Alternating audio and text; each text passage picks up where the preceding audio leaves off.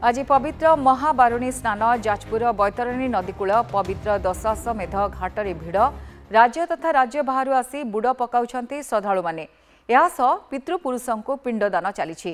ଏହି ତୀର୍ଥ ଏହି ତୀର୍ଥସ୍ଥାନରେ ସ୍ନାନ କଲେ ସବୁ ପାପ କ୍ଷୟ ହେଉ ବୋଲି ବିଶ୍ୱାସ ରହିଛି। ତେଣୁ ଭିଡ଼କୁ ଦୃଷ୍ଟିରେ ରଖି ପୋଲିସ ଓ ପୌର ପ୍ରଶାସନ ପକ୍ଷରୁ ବ୍ୟାପକ ବନ୍ଦୋବସ୍ତ କରାଯାଇଛି। ଅଗ୍ନିଶମ ବାହିନୀ ପ୍ରସ୍ତୁତ ରହିଥିବା ବେଳେ ଗାଧୋଇବା ସ୍ଥଳରେ ବ୍ୟାରିକେଡ୍ ଓ ଖରା ଦୃଷ୍ଟିରୁ ଜଳଛତ୍ରର ବ୍ୟବସ୍ଥା କରାଯାଇଛି।